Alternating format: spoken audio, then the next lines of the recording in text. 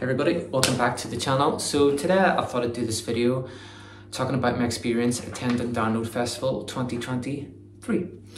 Um, to give you some context, it was my first ever Download Festival that I attended and there's some tips and tricks that I wish I'd known beforehand. Mind you, I did do loads of research and there's a couple of things that I quickly figured out and, and learnt along the way. And there's definitely going to be some things that I'm going to be changing when attending next year again. So without further ado, let's get stuck into the video. Okay, to begin with, I'm just going to talk a wee bit about accommodation and getting to and from download.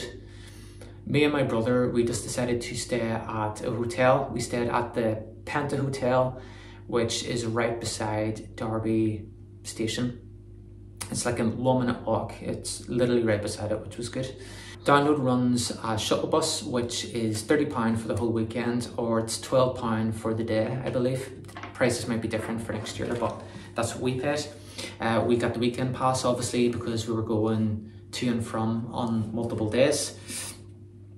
The journey normally takes around 30 to 40 minutes getting to download from Derby station. However, on the Thursday, it did take roughly about an hour. I think this was because we ran into a bit of traffic with more people trying to get into the festival. Um, obviously, Download being a four day festival this year, you only had one day to camp and set up rather than the typical two, which I believe normally happens every year. So I think that's why the traffic was so bad. Plus, it was a sold out festival this year. I think it's the first time Download's been fully sold out. So a bit of traffic was to be expected, uh, hence why we got an early shuttle bus. So once the shuttle bus left us off at Download Festival, we had to wait roughly about an hour and 10 minutes um, before they opened the gates to let us go in and collect our wristbands. Collecting the wristband was stressful to say the least. I couldn't add my download ticket to my Apple Wallet. Apparently, I don't know if download requested this or if there was a glitch in the app. A lot of people couldn't add their download ticket to their Apple Wallets. But Ticketmaster apparently reassured everyone that if you download the app and you view the ticket beforehand, even if you get no signal, the barcode will still pop up because it's one of those moving barcodes, so I don't think screenshots were going to work. So I'd obviously done this. I thought it's going to be okay. I've viewed it loads of times. I even turned off my mobile data, turned off my Wi-Fi and checked it beforehand and everything was working good. As soon as I got off the shuttle bus and I was standing in the line, I went to check the Ticketmaster app and nothing was showing, uh, like literally nothing. And then I was starting to say I had to log in. I was getting no signal at all so I couldn't view my ticket, despite what Ticketmaster had said beforehand. When I went up to collect my wristband, I thought this was going to be no issue at all because common sense would have told you that this was going to happen. People were going to arrive up with no signal and they would have some kind of backup plan. No, they had no backup plan at all. Um, they told me I had to try and find signal somewhere around the part of the village that we were allowed in. So I went to the corners, walked all around. I was getting zero signal. I tried this for a good 10 to 15 minutes. I went back to them and then they told me to go down to the bottom of the hill, which is where we had the line up getting off the shuttle bus. And there was a Ticketmaster box office there and that the guy or girl there would be able to help. So I went down, there was already 15 to 20 people roughly waiting there with the same issue and there was zero people at the box office to help and there was nobody. There was a couple of kind of the stewards that were that were working at Download Festival, but I mean they didn't have a clue. Like I don't, it's not their fault, obviously. You know they were just there to direct people, but obviously they didn't know how to fix this this Ticketmaster issue.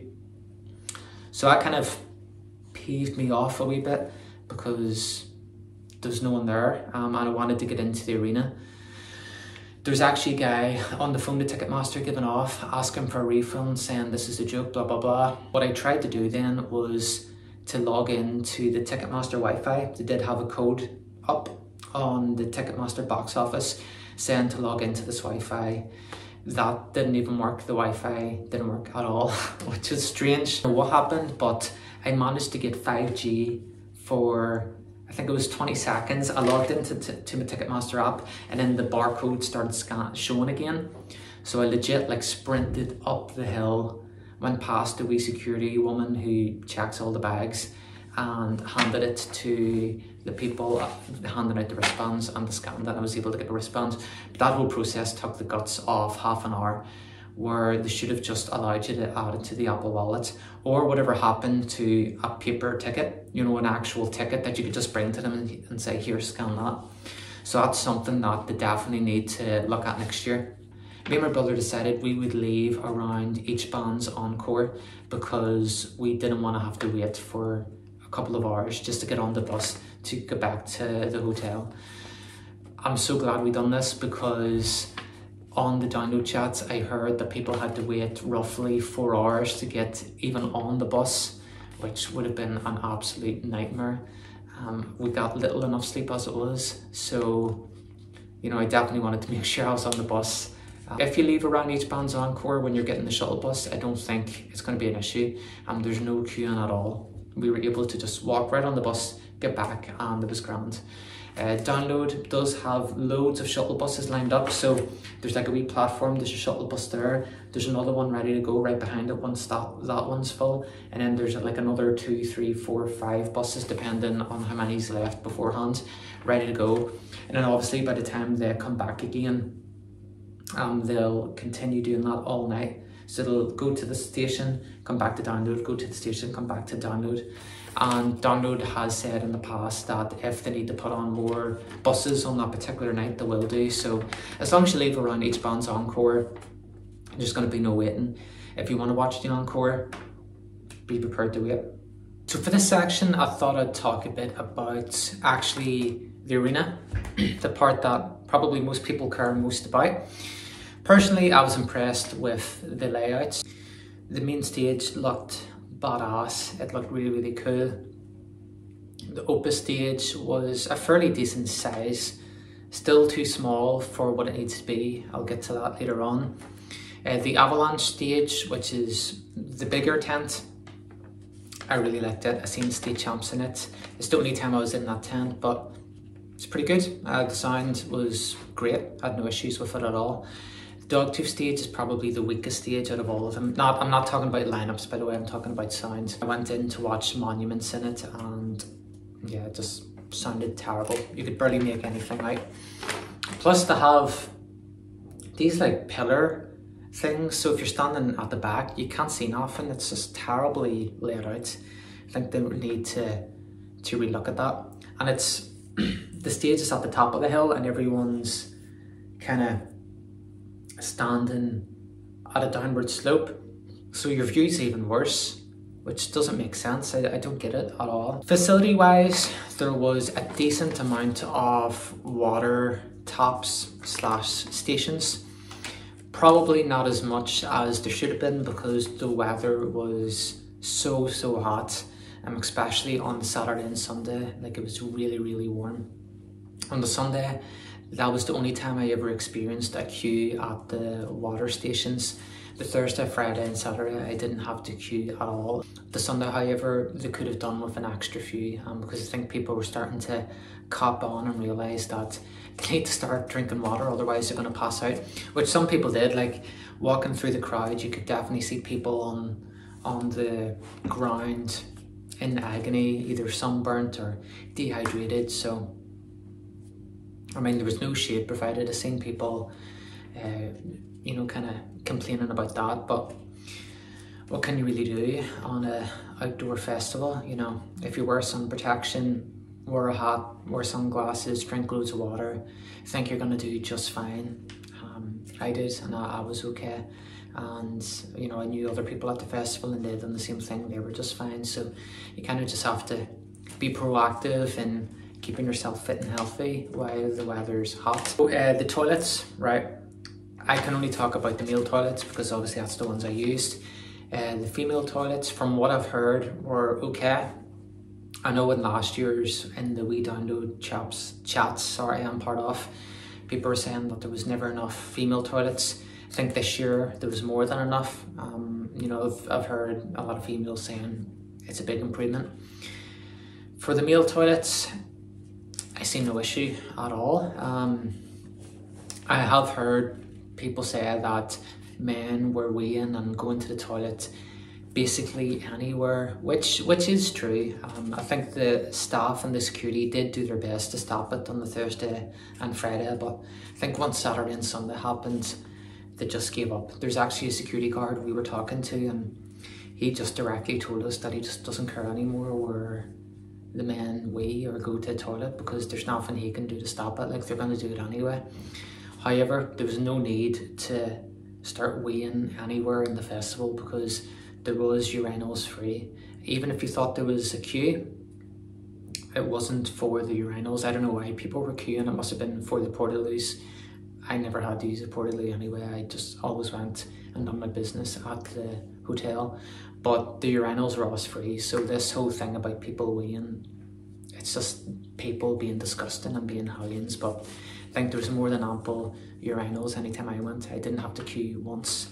Um, on the Sunday, there's definitely the, I think people call it the piss mud. There's definitely some of that happening. Um, to go into the urinals that I mainly use, the exit was now the entrance and the exit because the festival goers had basically made the ground too damp to walk on. Um, the merch stands, right, I've heard people talk about the merch stands saying the line was too big. I completely agree. It took about like four to five hours to get in the merch stand, so you know, it's just too long for a festival when you're looking to watch music. Mind you, I don't know if there was room for more merch stands. Personally, I don't think there was. It was tight enough for room in the festival as it was. You know, I think there was the guts of 110,000 people there, so putting in more merch stands wasn't feasible. But maybe looking into making the site bigger to allow for more facilities like an extra merch stand and maybe to give people a bit more room walking from one stage to the next because that was definitely another issue. The Opus stage was way, way, way overpacked. Um, essentially you had this, I'm gonna say the stage here and then you had like a walkway which was never a walkway unless you were in straight away. The walkway should never be full of people by the way um, because I've seen disabled people trying to get through on wheelchairs and it was just a disaster for them. You know, I felt so sorry. Um, they were having to like shout to get people out of the way. And the lines for food, there was none um, that I could see anyway. I do have an allergy to nuts, so I did tend to stick to like one or two vendors that I knew were 100% not free because I don't like to risk it. I don't fancy taking a reaction in the middle of download. It wouldn't have been too good. So yeah, anytime I went to get food, there was no line at all. But I did eat relatively early, like I did think ahead and eat around three o'clock and just get one bigger meal and not done with the whole rest of the day and that evening. And if I was hungry, I could just get something back at the hotel.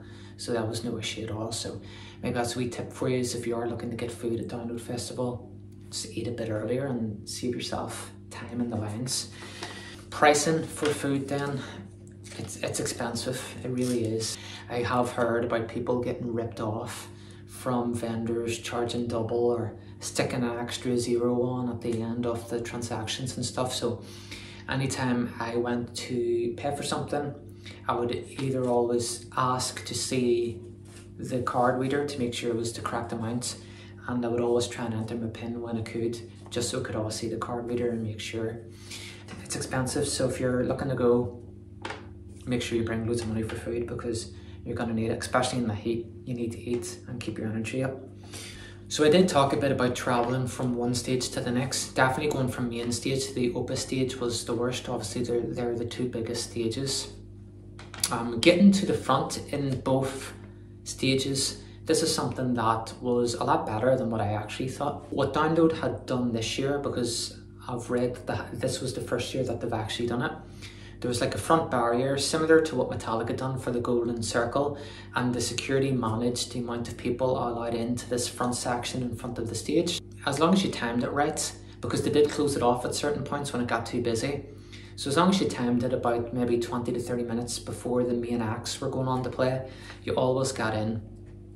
Um, I know there was people kind of waiting on the other side, waiting to get into this. I'm gonna just call it the Golden Circle section and security did let them in in dribbles for the headliner, but If you're there early enough, then you were allowed to get in, but that might mean missing one of the bands you like or leaving a band early. But yeah, I, I most of the bands I were watching were on main stage anyway, so I kind of just watched the band, left the golden circle part, went and got my jacket or something that I needed for the headliner, got a drink, went to the toilet and still had time to get into that golden circle part. So it's really only 20 minutes to 30 minutes before the headliner that they start to close it off. Uh, a cool thing that Download did do this year because Metallica was playing. I don't know if it was Download or Metallica, but one of the two legends done it anyway. On the Thursday and the Saturday, which is the, the days Metallica were playing, they chose people to go into the snake pit, which is the part kind of in the middle of the stage. Uh, we asked the security guard, kind of picking people out on the Friday, what was it about? And he said if you basically stand near this wee secret entrance door, um, they'll go out and get people. So he went down and got us on the Saturday and we got to watch Fever 333 and Ice Nine Kills from the, the Snake Pit. And it was so cool. Like Ice Nine Kills is one of my favourite bands. Um, I'll insert some footage here now.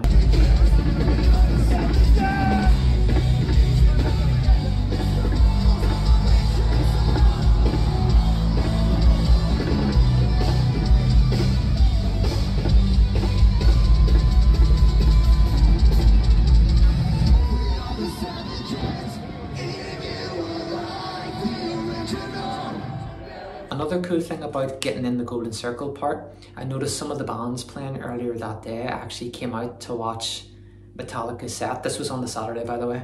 On the Sunday, I noticed it. I never really copped on that people were doing it on the Thursday and Friday, but definitely on the Saturday and Sunday, some of the bands came out when the headliner was playing to watch. So I actually got to meet members of Parkway Drive, Simple Plan, and Polaris and also the, some of the guys from Edinburgh Reveal were there as well watching Slipknot. So that was cool. I'm going to talk about some things that I'm going to be changing going to download next year. To start off, I've managed to get RIP next year, so me and my brother were staying in the the cabins. There's the reason why I want to do RIP. I kind of talked about these points earlier. Getting into the festival, um, you were waiting an extra hour and a half to two hours every single day before they allow you to walk through the village to get into the arena. Being on your feet for that amount of time, like it all starts to add up. Uh, the traveling to and from Download Festival, I know it's 30 minutes, but by the time you get up, walk to the bus station, you know, get some food, like you're get, having to get up earlier than, than what's really necessary, you know, if you were camping or if you were staying in RIP. So, you know, with with losing all that extra sleep and not actually being allowed into the village, you know, after after the bands have finished, having to leave super early to catch the bus and missing the encores and stuff.